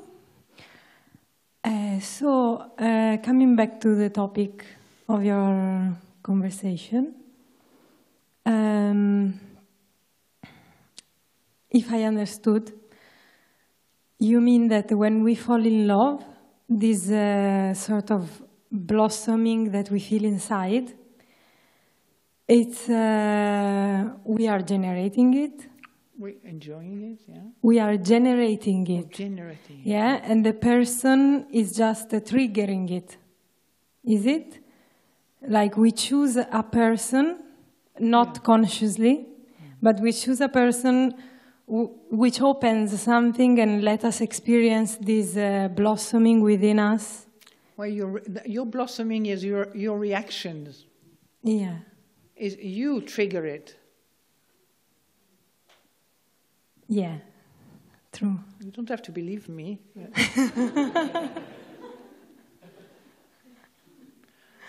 God. Yeah.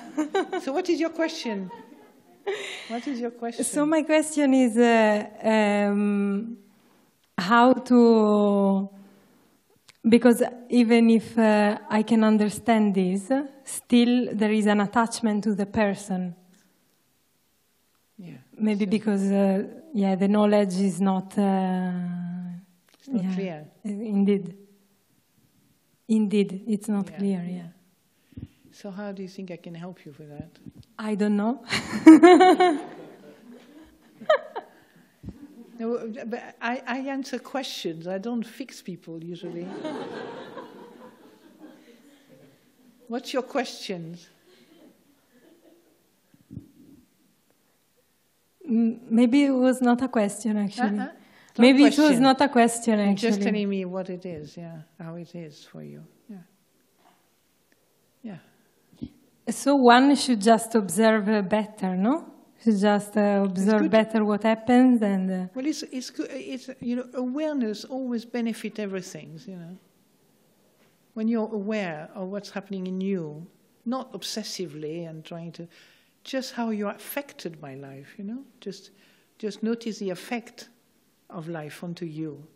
You don't need to kind of, you know, uh, obsess your mind or um, stress your mind with the whys and the why not and so on. Just notice, you know, is this real? Is this not real? Or is this, you know, notice the thing that you create if the person, for example, is not responding to you. And if the person is responding, that's a- what happened then. and then after that, you know, they might be happy ever after. I don't know. That's right. I don't. I don't. I don't divine the future. I don't have any crystal ball. You know. it's a pity. Hey. Eh? it's a pity. Yeah. Thank you. Yeah. Okay.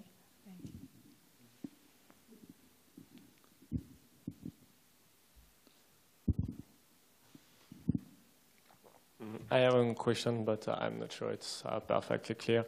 My question is um, to observe and not to react. I understand that, uh, to observe feeling. Uh, but uh, I would like to know when contemplation must end and when do we go to action and react? Because to be contemplative and just to observe feeling and, and things like that, so you start to just look life pass in front of you and you never react. That's when you can start to go into things and say, okay, right now there is something to do, this is unacceptable, or things like that. It has a name. Oh, really? The engine has a name. Yeah. It's called wisdom. The wisdom factor. You know. It's like the capacity to observe, assess the situation, and say, "Nice, that needs to be done." You know. It hasn't got a recipe, though. You can't know in advance. Wisdom is what needs to, what knows what needs to be done at any given moment, you know. But the wisdom comes together with experience, you know. So if you have no experience, maybe you make many mistakes before you get the result of wisdom. Do you understand? So sometimes you, you know, you don't, you don't say yourself, I must not react although that can be a skillful means. Like it's like an advertisement, you know, be careful. It's mu much more important to notice what reaction you have, you know. rather than label it, don't react.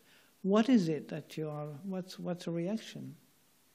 Okay. You understand? Before to slam it with a, yeah. with a Buddhist teaching. Yeah. it's not Buddhist, don't do that. Okay, that's clear. No, no guess to, to have wisdom easily, or you say it's experience and it takes time. It's just like that. Exactly. Okay. Exactly. You can make lots of mistakes and forgive yourself and tell yourself, you know, I'm just a beginner. I'm just kind of beginning again, beginning again, beginning again. Say, you didn't do this, you didn't do that. Well, I'm sorry. You can always ask to say sorry. You know, don't have to kind of uh, destroy your own confidence because you are not perfect for somebody else, you know. It's important. Keep your confidence on the path. Yeah, sure. Thank you for that.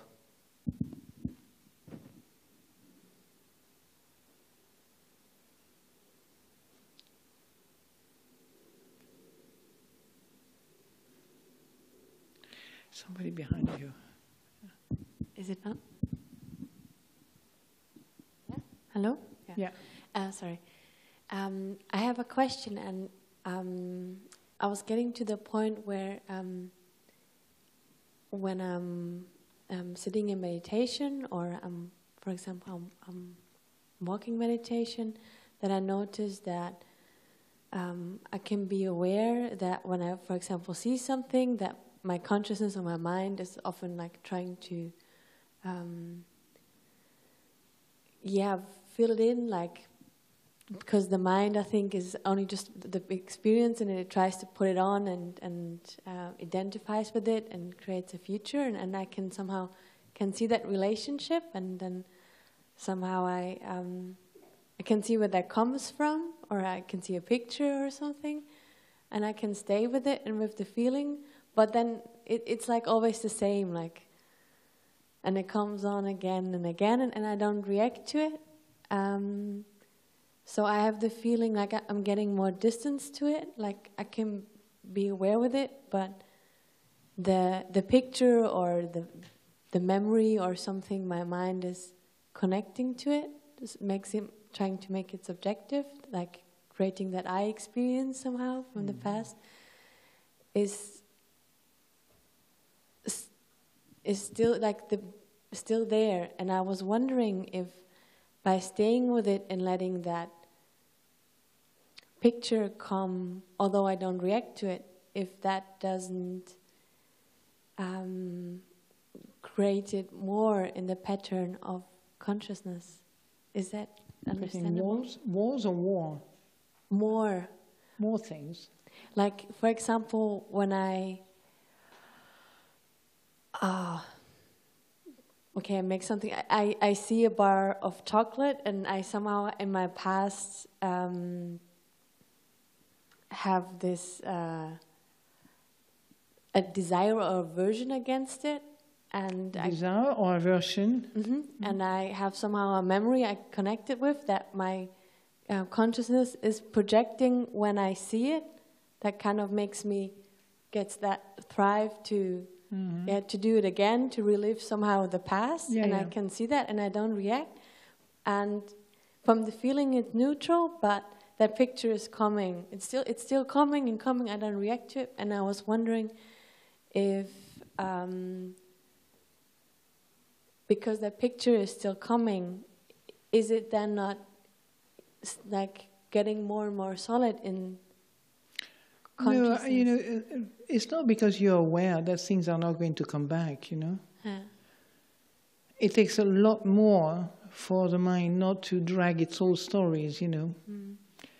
So if you, for example, your chocolate thing, you know, you, you, you see that, oh, in the past you, want to, you wanted chocolate and you are averse to chocolate and all that kind of, you know, zigzaggy feeling you have, I want, I don't want, it's terrible, I should, you know, etc.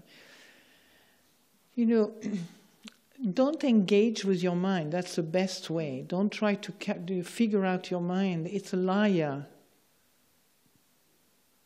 Yeah. Not just your mind. Everybody's mind is a liar.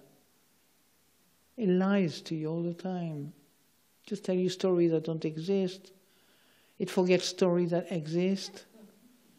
It tells you things that never happened, will never happen, and tells you stories that's happening right now but it isn't, you know. So what I mean is that don't engage with your mind. Let your mind do what it wants to do. Bring back this and the chocolate and the chocolate. It didn't do the chocolate, chocolate, you know what I kind of say. Just let it come back until it ends, runs out of fuel. You know, it runs out of fuel, and then it, the, the, you need to realize that everything that appears in your mind is, con, is actually uh, conditioned by something. It's been caused by something. And the thing that's caused it has, uh, also an end, is also impermanent. Do you understand? Yeah. It's also impermanent. So, because of that, you will see the end the most important things in our life is to see that things are beginning, have a beginning, a middle, and an end. Once you see that things end, you will find that your fear world will decrease enormously because the fear world has to do with you feeling you're stuck with something and you'll never get off it, you know. You're stuck with your parents' agenda and you feel you never will happen what you want will never happen. You don't know. One of the most helpful, skillful kind of, um, you know, skillful means that Ajahn Sumedho gave me and us, you know, the community, is that basically don't know mind. I don't know the future. Why do you want to create something that hasn't happened yet? Why do you want to create the thing that's going on in your mind with having a little kind of a record story behind next to it, parallel with it? Just let it be, just let it go as it is. Don't engage. Like Ajahn I use the image of Ajahn Chah, who said, you know, a cobra will slide next to you. Don't touch it. If you don't touch it, it will not harm you. If you touch it, it will kill you. That was an image, you know, for the mind. Don't touch it, because if you touch it, the mind has a great power to, you know, to create, to cause suffering through confusion, through doubts, through worries, through anxiety, restlessness, desire for things that are pleasant, anger, frustration, envy, the whole lot, you know. Don't touch it. Have faith, have confidence, you know. Then come to the point where you see the end. When you see the end, then you have the confidence, you've seen it once. Then that gives you, okay, it's impermanent. That's very deep knowledge already. Do you understand? Yeah.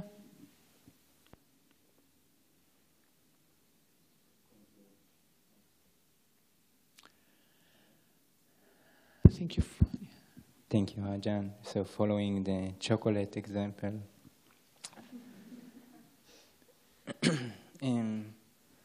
sometimes I feel that the desires, strong desires or repeatable desires, um, are a mean to reflect something.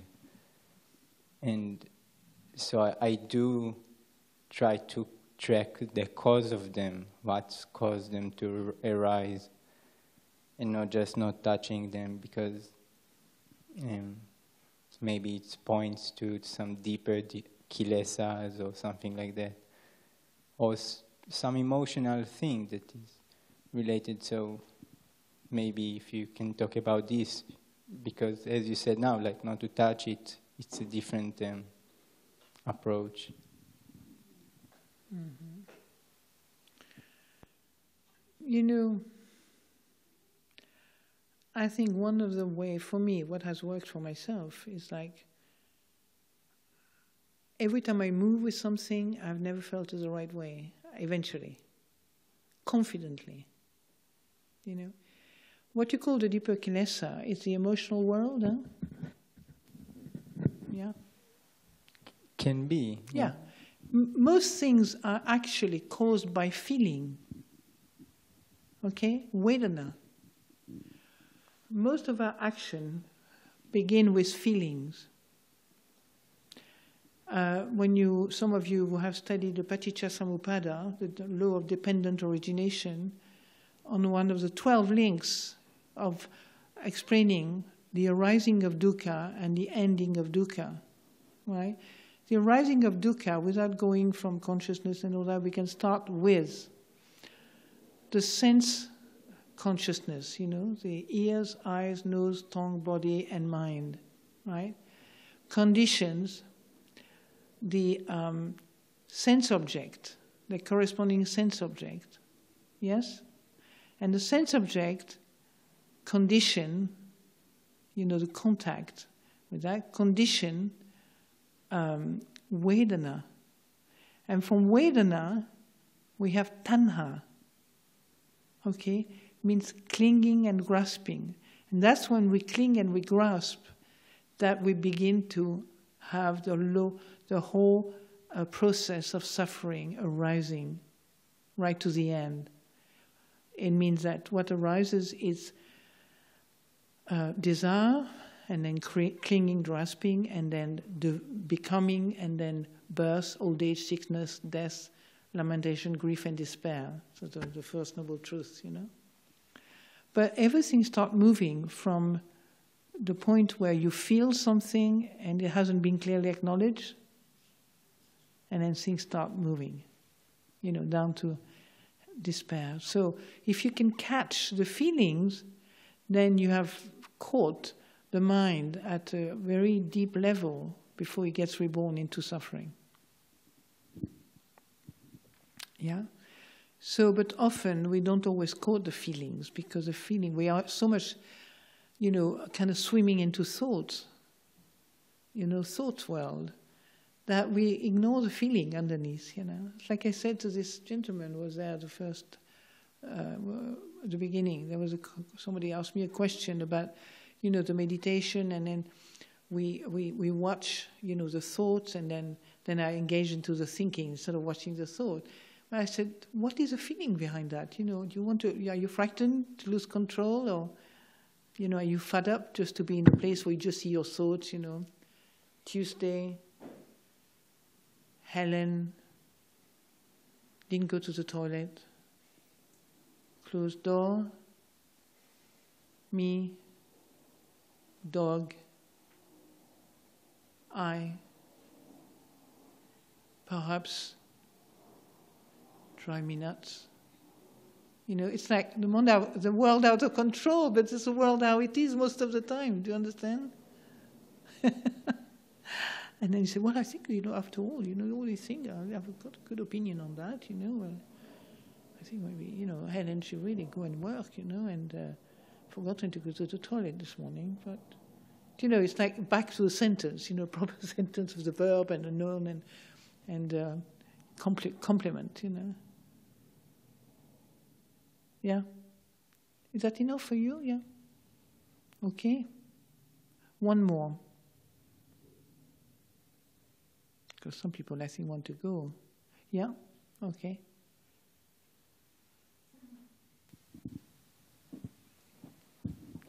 Hi, thanks. Um, in the aftermath of an event that kind of changes your perception of who you are and of who Hang on, uh, can you stand up? The aftermath of what? Of something that changes who you are and how you view humanity. How do you deal with a kind of loss of self and a kind of. Sorry, you deal with? A loss of self and, yeah, and not understanding who this new person is come here. I, I, it's not that clear. I don't want to, to, go into a discussion about something that I don't hear properly. Very well. Um, you can sit just, here. You can sit here. It's okay. okay. I was just wondering, in the aftermath of an event that is um, that makes you lose your sense of self and um, what you knew about humanity, and it changes your perceptions. How do you deal with that loss of self? Mm, just and think of human. They're all mad. You're all mad. You only we, we, we, we just semi-normal because we have the law, you know. I mean, to be a good human being, it takes hard work, you know. Most people are not that balanced. If we have a lot of expectation on people, you know, once you know yourself, you have no, no doubt about what I said, you know. Like once you know yourself, I tell you, our reactions are pretty uh, out of control a lot of the time, you know. So maybe your expectation of mankind just been sabotaged. That's what it is, isn't it? So what do I, how do I deal with that? And how do you? I go onto the Noble Eightfold Path and deepen my knowledge of humanity madness, called ignorance. It's called avidya, ignorance. Okay. you know, what else can you, you can just deal with your own feeling with these things. You deal with your own feeling. Maybe despair, maybe you feel really disappointed, maybe you hate their guts, you know, because they are so promising and now there they are, you know, did me in. And then, uh, you know, and then they accuse me as well, you know, that I'm, I'm there, it's my fault, not their fault, you know. So that's what I mean by mad. You know, we project, counter projection, projection, and then we get into a completely crazy, you know, kind of embroglio with each other. It's difficult to get out of sometimes, you know. Shh, shh, shh. It's okay. Thank you. Thank you. Yeah, it's finished. Okay. Hey. Yeah. Hey, the microphone gentleman. Where is he? He's having a good snooze. Yeah. So, well, if we don't have any more questions, you know, pertinent or non-pertinent, one question. Come a little closer, you know, so you can.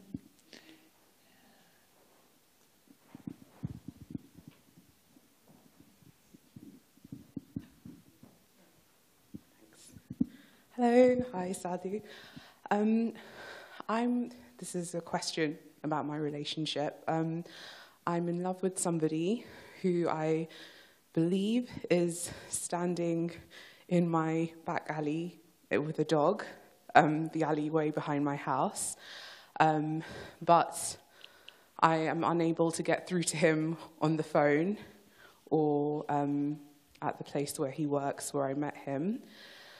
But I have a strong sense that he is the person who's standing in the alley with the dog, and um, he sometimes, I mean, he's receiving messages from me, but and um, we're communicating through calls, but I haven't had any verbal or physical correspondence with him for a few months, and I don't have the key to the door to the back of the house to go confirm whether it is him or not. Um, I was wondering, but I, you know, I miss him a lot, and I want to get in touch with him. So I was wondering what your advice about that situation would be. Sorry. I think maybe we can talk about it personally, maybe a bit more. You know, I'm, I, you know, I Okay, don't have a lot of recipe for life. Yeah. I just tend to think, um, from what you describe, it's pretty complex, isn't it?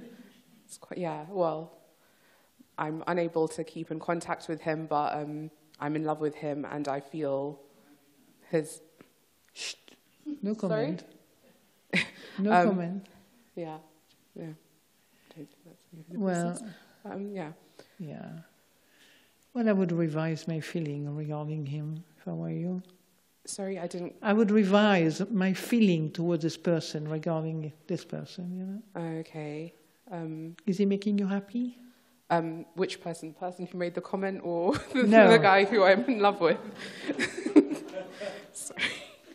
Um, yes, that's maybe the beginning of your life travels, you see. yeah. um, well, yeah, I think I get distracted quite a lot by um, outside influences. But um, the guy who um, is standing outside my ha- behind my house, um, I'm in love with him and I'm happy being in love with him. But I would like to have a relationship that involves seeing each other and, well, you know, keeping in contact more than. Um, Well, but you can't force anybody. People are free. Do you understand? Yeah. So Um, don't force anybody. It's dangerous.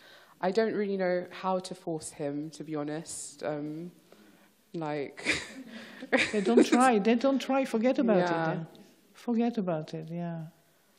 so, um, well, I mean, I'm in love with him and we're spiritually connected, so. Are you sure that he feels the same about you? Um, I have no. I feel it, yeah. I feel that he Yeah. does. Well, we've got to. We, we, I'll teach you how to look at feelings then. So, um, is your advice not to um, investigate this relationship or Uh, investigate the feelings.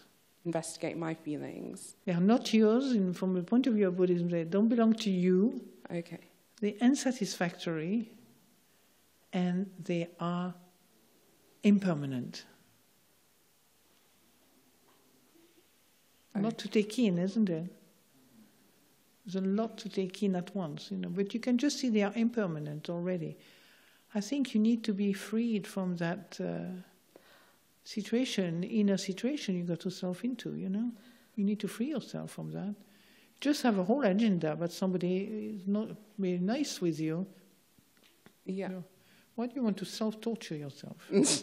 um, I yeah, I don't really see it as impermanent, and um, I don't feel torture, as in the love I feel for him is joyous. Hmm. Um, it's just the fact that I'm in quite a difficult situation Hmm. at home, and I look for help from him, and I don't receive that. Yeah, so maybe it's time sense. to give up, you know. I tell you what, most people here have been stating for nearly two hours Mm-hmm. here, and many of the questions that they wanted to ask is been done. So maybe if you want, we can have a chat. That would be lovely. Another time today or another time about your situation. Okay. Yeah. Yeah? that- yeah. And then we can just sit down quietly. Thank you so much. we're already really 20 minutes appreciate late, so some of you have to do things also. Yeah? Thank you.